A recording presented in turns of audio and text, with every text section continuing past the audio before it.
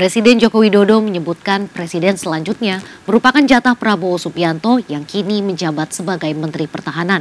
Dalam menanggapi hal ini, Partai Perindo memberikan sikap bahwa hal tersebut merupakan hal yang sah-sah saja.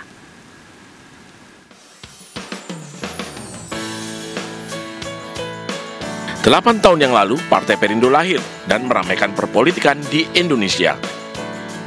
Ketua Umum Partai Perindo, Haritanu Sudibyo, menyatakan momen ulang tahun yang ke-8 ini sebagai pengingat bahwa Partai Perindo bertahan untuk berjuang demi Indonesia sejahtera.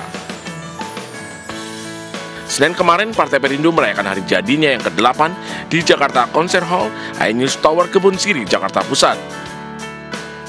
Dalam acara ini, Presiden Jokowi dan tokoh politik lain terlihat hadir. Dalam sambutannya, Presiden Jokowi memberi sinyal kuat terhadap Prabowo Subianto sebagai presiden selanjutnya.